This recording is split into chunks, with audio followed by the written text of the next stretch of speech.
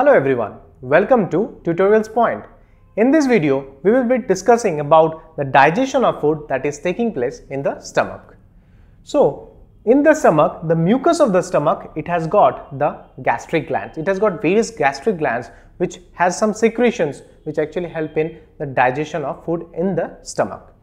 Now the stomach gastric glands, it is made up of three different types of cells. Now what are those? First of all, the mucus neck cells.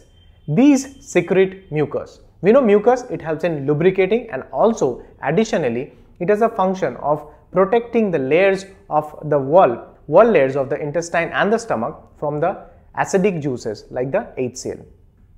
The second type of cell is known as the peptic or the chief cells. Now these cells, they secrete a proenzyme called pepsinogen.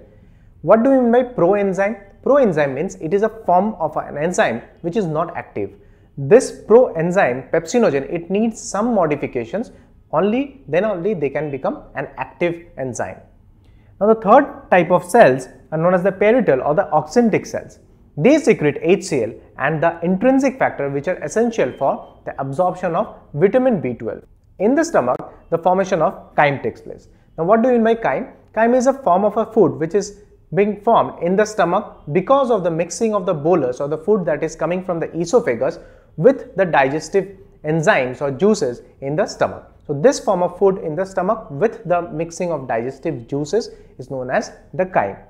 Now, since we have discussed that the peptic cells or the chief cells, they secrete a proenzyme called pepsinogen.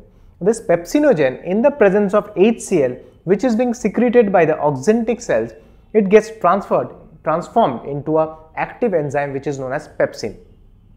Now this enzyme pepsin, it has a capability to convert proteins into smaller, smaller molecules called peptides. Now these peptides, these can be utilized or further di on digestion can be utilized in the uh, small intestine and in the body cells for various other processes.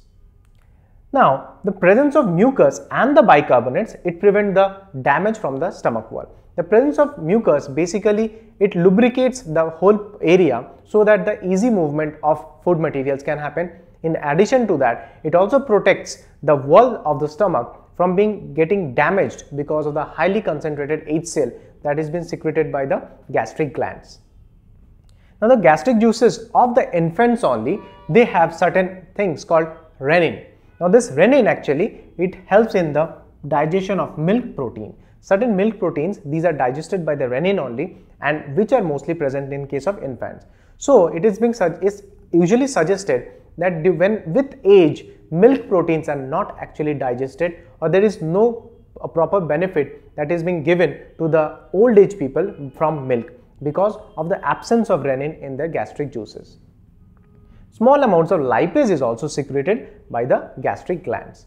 So in this video, we have talked about the digestion of the food that is happening in the stomach. I hope you have understood and liked this video. Thank you.